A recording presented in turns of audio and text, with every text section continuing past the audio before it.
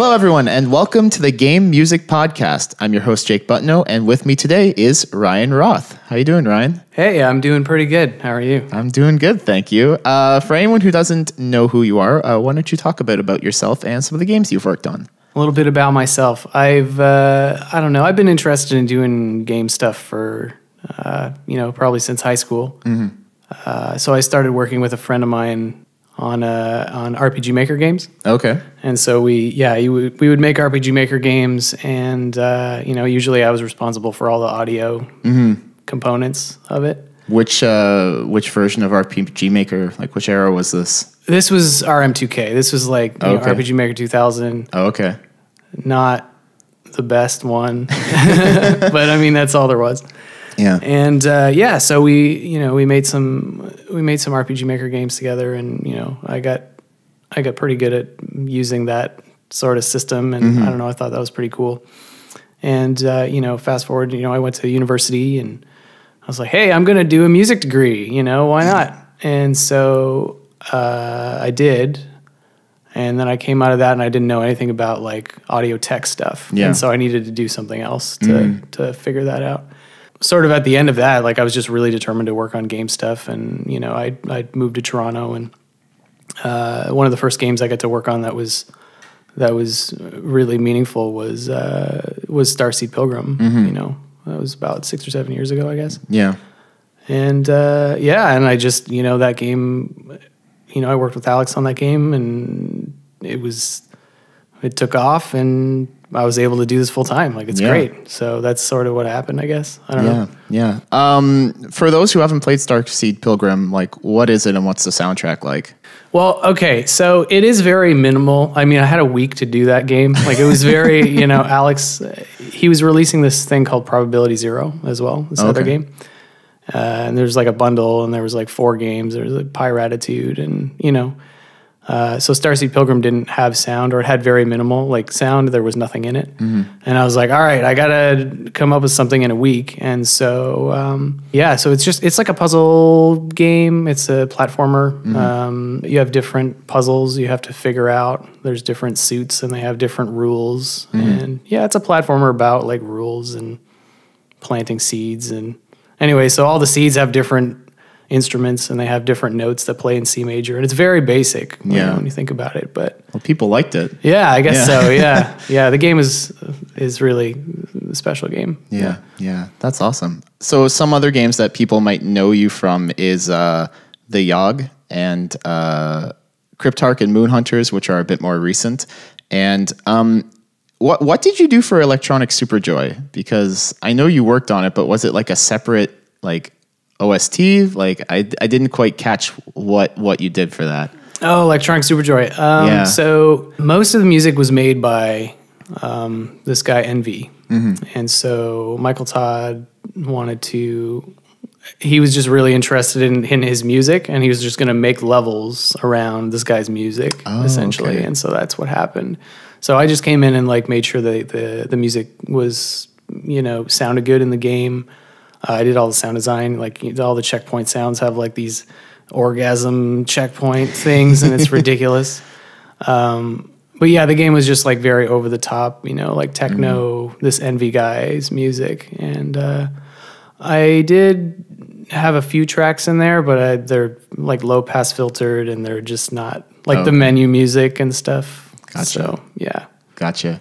Cool. Um, and what are you working on right now? Because you- I think you've got a lot of projects sort of on the go right now, right? Yeah. Well, I just, uh, like I was saying earlier, I, we were talking earlier, uh, I just started working on Guac, uh, Guacamelee 2. Mm-hmm. And uh, so I've been doing sound design for that. I'm having fun making the sounds for it. and It's good. Yeah, yeah, for sure. I think by the uh, I think by the time that game comes out, we're probably going to have every person on the audio team on this podcast at this rate because this is the second in a row. Yeah. Yeah. And there's a couple of games that you're working on that aren't out yet, but uh, like Riverbond by Cococucumber.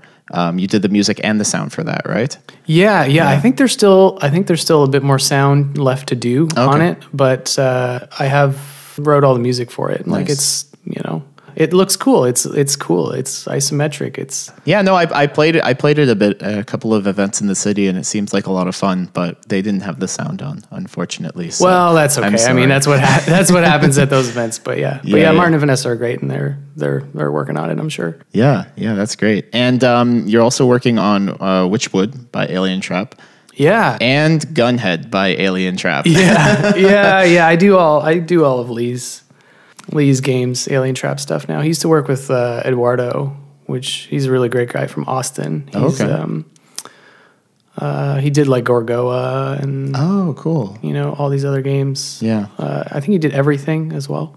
Oh, okay. Yeah, really Yeah, cool yeah. guy. Uh, he used to do all the sound for Lee, but you know when you have a Canadian guy that lives like he literally lives next door to me. He lives like in the the next door building. So It's too convenient. yeah, so so yeah, I've been I've done a few things for Gunhead so far. They're they're working on bosses right now, so it's like there's a lot of boss fights, I guess. Yeah, I've been seeing all the Twitter, all the Twitter videos of that. Are you working on the music for that one with uh, Ryan Henwood? Yeah, again? cool. Yeah, yeah. and we actually, um, I went to Japan recently in October, Cool. and I met up with uh, this guy Roger. I don't know if he still does or he was. He was a session, session drummer for uh, for uh, Steven Universe. Oh, cool. Yeah, and uh, so he's a really awesome guy, really awesome percussionist. And uh, so Ryan and I have actually recorded a few tracks for Gunhead, and we've sent it to him, and he might actually do some That's some, super cool. some drums for us. So, yeah. Wow, wow. So I, I'm I'm sure you can't talk about Gunhead too much, but is it just sort of an evolution on the Cryptark sound, like sort of that really heavy industrial style?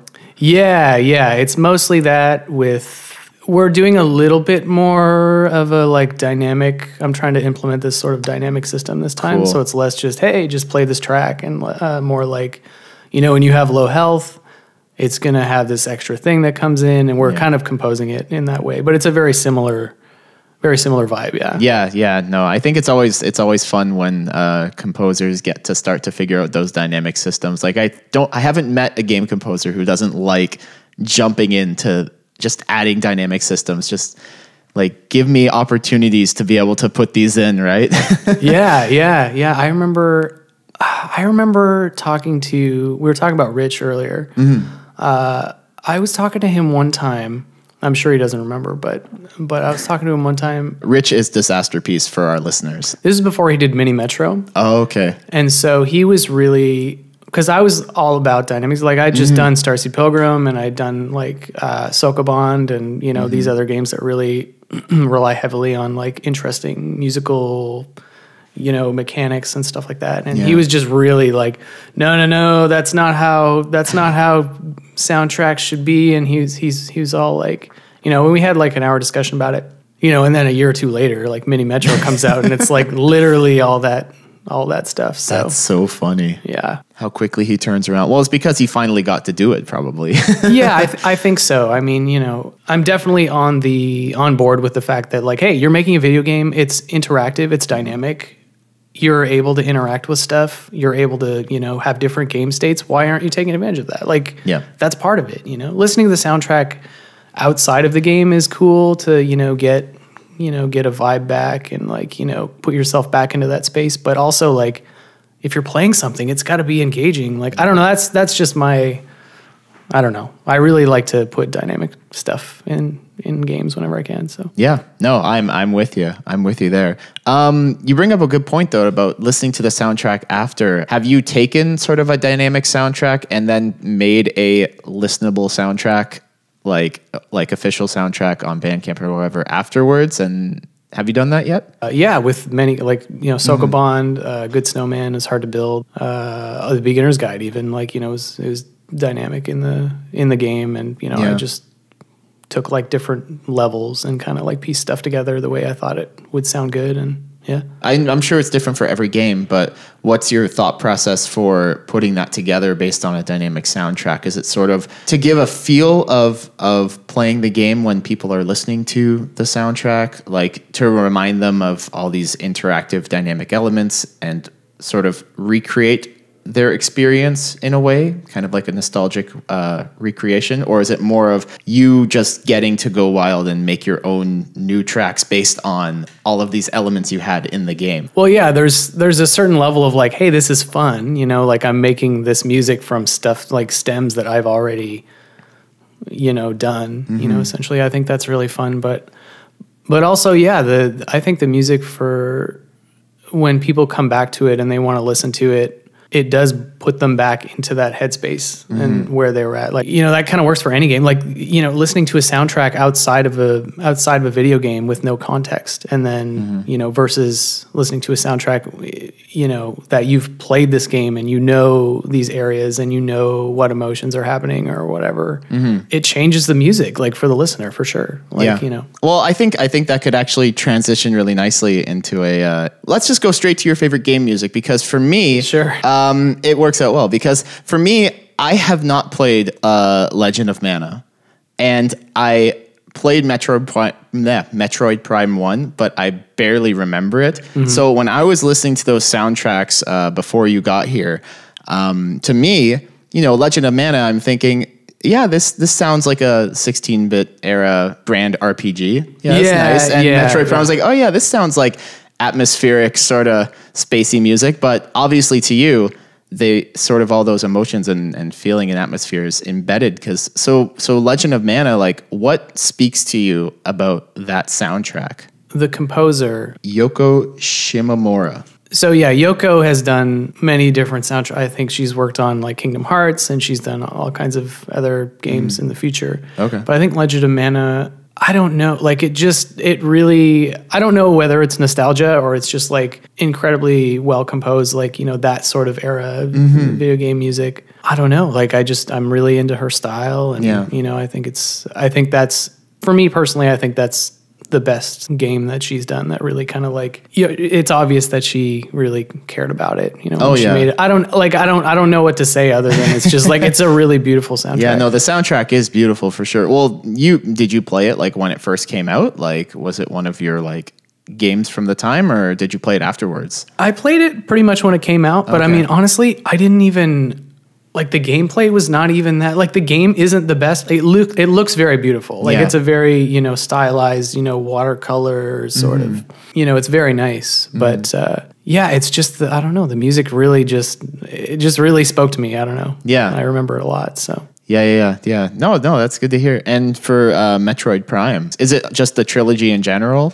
I think so. Yeah. I don't know. I just really like Metroid, and it and it, it, there is a lot of like nostalgic stuff from like the earlier Metroid games, like uh, uh, you know Super Metroid and mm. you know stuff like that, where they've you know done remixes. And I think it's the same composer. I can't remember his name either, but okay. yeah, I'm, I'm, pretty sure it's the same composer that uh, that did all the Metroid games. Oh, that's cool. That he you know he you know in the future they're just like yeah we'll get the same guy and yeah. So it's it's got that it's got that vibe. It's not really dynamic in any way. I know we were talking about that, but like, yeah, it's not really. They they don't really do any of that stuff. It's just like straight cool music. I don't know. Yeah, oh, it is cool music. I mean the the what's the name of the winter level Fen, Phendrana? Phendrana, yeah, yeah, yeah. Yeah, Phendrana drifts. Yeah, that's really That's sort of the one that people are always uh, tossing my way. I think it's kind of the the fan favorite in general.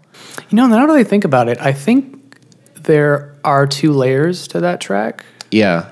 Based on when you when you first arrive versus when you kill the first boss or something. Yeah, when I was looking at the soundtrack, it had like sort of two different versions, I guess, of a, of a lot of the tracks. Yeah, um, yeah, yeah, yeah. I didn't listen to it in depth to see sort of what the difference was, but that might be a case. But that's not, still not really dynamic music. It's just a different loop based on sort of a thing that would have happened in the game, right? Yeah, but it's still like, you know, building on. I think in that game specifically, it's the same. For Phendrana, I think it's. And I could be wrong about this, but I, I remember it specifically being like, hey, there's this track that's playing when you first get there, and it's kind of moody and there's not much going on, mm-hmm. but like there's an, it's just another stem that goes on top of that. Oh, okay. That's more like, you know, has more rhythmic elements and stuff like that. Okay, cool. Yeah. Cool. Let's let's move uh let's move back to your work because um, you mentioned, yeah, you've worked, you you did the music for the Beginner's Guide, which is probably the biggest game that you've that you've worked on. Am I wrong in saying that? No, I mean, I mean, I don't know what's to say. What's big? what's big? What's a big game? I don't know. Well, I think I think that I think that Davey is probably like he's he's quite an influential uh, creator. I think. yeah, um, Davey's a good. He's yeah, Yeah. yeah. But um, so for the beginner's guide, I guess I recently um, played through it, and cool. the whole idea of yeah, I was. It's, I'm glad. I'm glad that we were recording this because it finally got me around to playing it because I've been putting off because I love Stanley Parable. Like I absolutely love that game. Yeah. But uh, and beginner's guide was also very very good. But the idea of composing um, music for a meta narrative like that, right? Because um, I guess the first question is like, how involved were you in composing through the development process? Like, were you brought on towards the end, or were you part of sort of Davey's whole like vision, like development process of that game?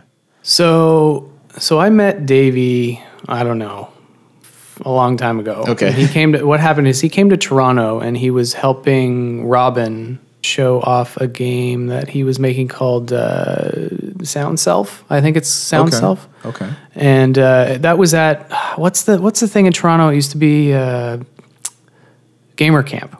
Oh, It was at Gamercamp. I don't even remember that. Yeah, yeah. This was like several years. It was like they stopped doing it like three years ago or Oh, something. okay.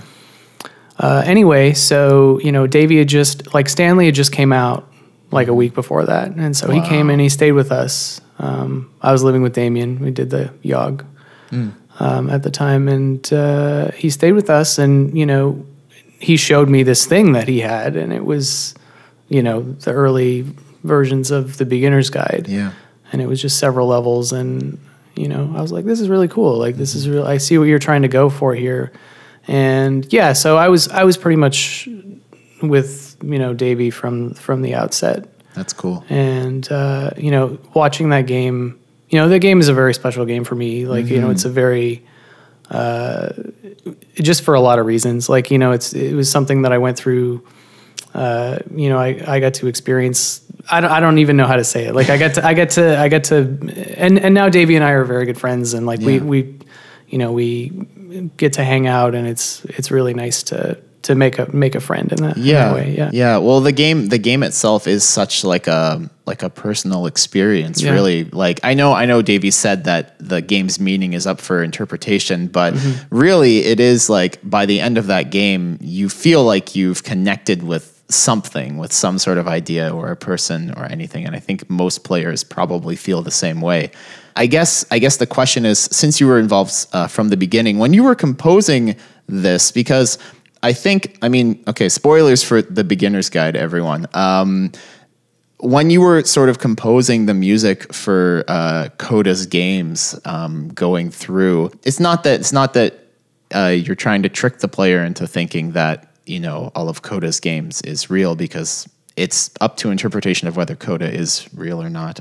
When you were composing those tracks, did you take any measures to try and make those games feel really authentic as like the beginning games of a game developer or did you just score each scene as the way that it needed to be? Well, that's a good question. One of the things that I did, um, that was actually one of the things that Davey and I talked about initially uh, with the first level, like um, the Whisper Machine. That's Yeah. the one where you're in like space. That's the space station one, yeah. Yeah, and I I originally made music that was very like sounded like Halo basically, right? Okay. You know, it was just like Halo whatever. Yeah. And and we both decided that it would be better for that music to be not as like still kind of have that same vibe but be like shittier Okay. right? And so Yeah. and so yeah, I changed all the instrumentation to like use the, you know, default Pro Tools like expand, you know, instrumentation, and it was just like really, you know, I took it down to I took all the reverb off everything, and it was just like, you know, it became what it is, and Yeah. so so yeah, we did, we did think about. We did think about that, like whether or not this should be something that, you know, I don't, I don't want to talk maybe too much about about that, That's but okay. but but uh, but yeah, that was definitely a thing that that we thought about. What's really interesting is you know watching people on YouTube or watching people play it. Um, you know, sometimes Davey and I will sit down and well, I mean, we did when the game came out. We sat down, we watched. Um, uh, you know, people on Twitch or whatever play it, and we would only we would only watch the last, the last like Coda's letter, Yeah. um, and then and then the, the the final like the end the end. And usually what happened is after like we i don't know it's really nice to see those people's you know people's reactions. And then at the at the very end it's really interesting to like uh to see how people react. Like they and and most of the time was really beautiful is that people say uh, they only talk about uh, themselves, like their feelings. Like they're not talking about the game. They're not talking about. All. They're just like, oh, you know, and I felt this way about this, and I felt that way about you know this thing that happened in my life, and I'm, you know, that's it's really like cool that beyond the the game itself that people can, um, you know, kind of look look inward and and you know talk about you know how they feel about stuff. It's yeah really cool. yeah and especially for like anyone who's a creator i mean the game just speaks about creative difficulties like and it speaks about them so well that i think anyone including you know twitch streamers and youtubers who have created something i think anyone could connect to that at a level but Yeah, um, yeah, yeah. you've worked on a lot of indie games and and how much Ryan goes from from soundtrack to soundtrack? I know that sounds like a weird question, but do you sort of bring something of yourself? Like what would you say your style is when you're doing video game soundtracks? So yeah, that's a good question. Um, you know, I've done all kinds of different stuff, right? So Yeah. Well, that's why I asked because when I was going through sort of your discography, like the genres are just like you seem to be able to hit everything. And so what what do you bring from game to game? I think that it's important to to know, like for instance, the Yawhg, or you know, which is acoustic music, mm-hmm. uh, acoustic guitar stuff, and you know, stuff like Cryptark. I don't just like it's not just me mm-hmm. that's doing it. I have a lot of you know, I have people that that I've worked with that are that are helping me. I can't mm. I can't do everything, you know. Yeah. And so, you know, working with Ryan Henwood and stuff like that, like, you know, he's pretty good at guitar and, you know, he brings his guitar over and we jam and, and I put some synth in it and, it, you know, it, it works out. You know, I'm like, mm-hmm. all right, we're in this key and, you know, he plays it and, you know, it's, there are a lot of collaborations and I think that's, that's why I don't think I could do everything myself. But, but if, if I had to make something like, you know, the beginner's guide, like something that would be very like ambient, something that would mm-hmm. have piano in it, you know, I have a piano degree Yeah. that kind of music, I guess, is probably my my forte. Uh, also, you know, some sort of like weird electronic music probably is. That that makes a lot of sense. So so for Moon Hunters then because when I was listening to Moon Hunters, um, I was thinking because this is sort of the big. I, you worked on that with uh, Helena Huron, right? Yeah, yeah. Um, Heron, and yeah. Heron, yeah. Sorry. Yeah, it's all right. And that was sort of um, the big like epic adventure, but still very like grounded and personal. Um, felt like maybe you were taking some of the like Legend of Mana inspiration from there. Definitely, it's Yeah. cool that you said that because uh, yeah, there was definitely one track like the the final boss track that I kind of like. There's an ostinato in Legend of Mana that I was like. Uh, I like that, and it goes, you know, like dun, dun, dun, dun, dun, dun, dun, dun. and I was like, all right, I'm gonna, I gotta use something like that, and I, and I did, and it's a totally different track, but you know, Did you use the same ostinato though? Uh, similar, yeah. it's very similar, yeah. Do you like taking like sort of ideas and inspirations and and quoting them in your music? Do you do that a lot? Uh, sometimes, sometimes, sometimes it depends. If like, yeah, if Yeah. I'm inspired by something like the with the Good Snowman is hard to build. The uh, menu music, like when you hit escape or you hit menu on your phone or whatever, like the music that plays in that is there's a similar harmonic thing that uh, that I did. That's it's similar to a Boards of Canada track that I really like. oh, okay. So I mean, yeah, I don't know. I look at stuff and I hear stuff, and I think everybody does that. you It, know? yeah, that- that's why I ask because it's a common thing that I'm I'm learning as I'm as I'm speaking to everyone on this podcast. Everyone sort of likes grabbing things and putting them into their soundtracks. So yeah, Yeah. that's fun. I guess before we wrap up, um, let's just quickly talk about some of the games you've been playing recently. And I think at the top of that list was Celeste. Yeah, yeah. I just finished Celeste the other day. I Yeah. hear people are really digging Celeste It's fantastic. It's a really, really special game. Yeah. because I haven't I haven't played it because platformers aren't really my thing. Because Mm-hmm. like, what does it do that that pushes it beyond just being like a really good platformer? I mean, I think, I mean, personally for me, I think the narrative is very personal. Like one of those, like there's a, there's an obvious like personal level to it. But other than that, I mean, it's just a very well, you know, everything is masterfully designed. Like it's very tight. Like how, how is it any different from like Super Meat Boy or something? I as, as you would say, like you know, I've I've heard people ask that question, and I'm like, I think it's mostly the narrative, like and the Yeah. and the music. The music is also very, Mm-hmm. uh, you know, Kevin like Power Up Audio, like Kevin just. Uh, I I messaged him the other day and I was like, man, you. I just finished it. I didn't want to message him until I finished it, and Yeah. I was like, you destroyed it. Like it's amazing. Like the sound in that game is just phenomenal. Like all the tiny details are just yeah, it's really good. yeah, no, I was listening to some of the music and it sounds just super super fantastic. Like, But there's a lot of dynamic stuff. Oh, as is well. there? Yeah, yeah, yeah. oh, cool. You move into different areas, like different stems come in, and it's just it's masterfully done. Like Ah. it's very, very, very good. Cool. Okay, so I actually have to go like look at it now. yeah, yeah, it's worth it's worth checking. You can play like there's a there's a like an assist mode that like Hmm. if you're just like ah, I don't like platformers that much, it'll it'll help you get through it. yeah, yeah. No, platformers are because like I played Super Meat Boy back in the day, but that was I feel like back when I had more patience for them. yeah, yeah, yeah. What else? What else have you been playing? Fallout 4 VR. yeah, yeah. I've been playing. I've played that for like 20 hours of Fallout 4 VR. Wow. It's uh, probably like three or four times a week now. Like I'll just I'll be finished working, and you know I turn off my lights and I turn on my VR. So it's it's like a whole thing because I got to put like contacts in. It's like a I don't know VR.